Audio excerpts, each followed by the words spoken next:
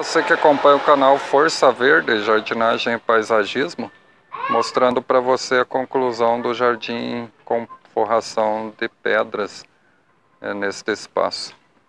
Então concluí, coloquei as estacas nos podocarpos para mantê-los firmes até é, se fortalecer um pouco mais os troncos e coloquei uma massa, argamassa, uma massa corrida no muro ali onde tinham estas prateleiras e a gente retirou dali para estar tá colocando os podocarpos e mudamos elas para cá.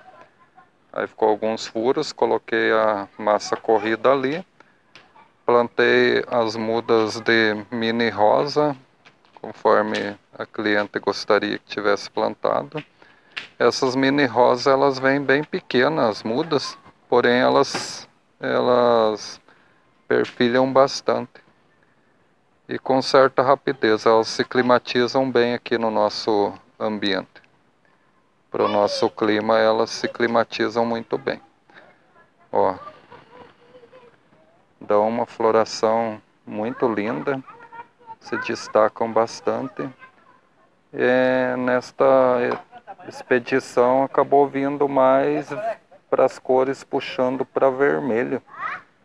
E eu plantei duas bandejas aqui, eu vi que ainda pode ser plantada mais algumas. Aí a hora que chegar mais cores surtidas, eu posso passar aqui com mais uma bandeja e plantar ainda.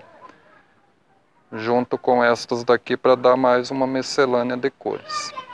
Ó, mas já ficou com uma formação bem legal e considerando que elas vão é, abrir bastante galhos e flores, vai dar um destaque bem interessante no ambiente. Daí ali a minha cliente optou por manter a, a prateleirinha com as flores que ela cultiva. Coloquei um alecrim ali para ela, que é remédio também. Mantemos plantado ali no vaso. Ah, o toco de madeira vai permanecer. Esse coqueiro da Bahia já tinha aqui no local, já havia sido plantado há uns quatro meses anteriormente e vai ser mantido também. Coloquei uma bandeja de petúnias ali que logo vai começar a perfilhar e a florescer. E ficou uma forração bem bacana com as pedras. Já tivemos bastante pancadas de chuva aqui neste ambiente e você vê que a forração ainda se mantém perfeita. Já fazem vários dias que eu concluí e hoje eu passei aqui para estaquear os podocarpos e para tampar os furos na parede. E o jardim se mantém com a mesma formação, isso é muito importante.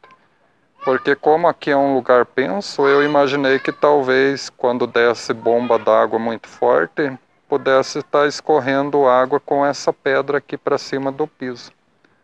Mas aí a gente não teve esse problema. Aqui os amor perfeito, coloquei uma forração com a casca de pinos. Ficou bem interessante, a nossa cliente gosta bastante das flores, então ficou bem a contento. Considerando que o amor perfeito vai estar florescendo o inverno todo, Aí lá para o mês de setembro, mais ou menos, a gente vem aqui e faz a substituição pelas flores de estação de verão. Ó, os podocarpos, seis podocarpos deste lado. Mantivemos este lindo cactus ali também, ele estava do lado de lá, próximo ao coqueiro da Bahia, se eu não me engano. Daí nós mudamos ele para esta área aqui que é mais restrita como ele tem bastante espinho, aí ele fica ali, num, no, como não transita muitas pessoas naquele espaço, vai ser uma boa pedida. E ó, ficou legal esse caminho aqui, ó. Para quem chega e para quem sai da residência, ficou um espaço bem charmoso. Valoriza bastante os espaços se fosse somente a pedra, eu acredito que ficaria bom também, mas bastante artificial. Aí como nós utilizamos bastante flores e variação com a, casca de pinos e o pedrisco de construção e o pedrisco ornamental, é, quebrou bastante a artificialidade que estaria é, tendo neste espaço, com as plantas e o contraste de cores das pedras. O tronco eu mantive no local também. Colocamos alguns vasos em cima ali, tem umas orquídeas plantadas nele.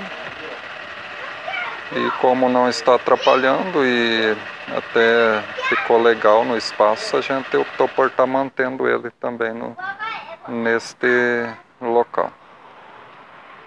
E hoje era isso, pessoal, mostrar para você a conclusão deste belo jardim forra, com a forração feita em pedras.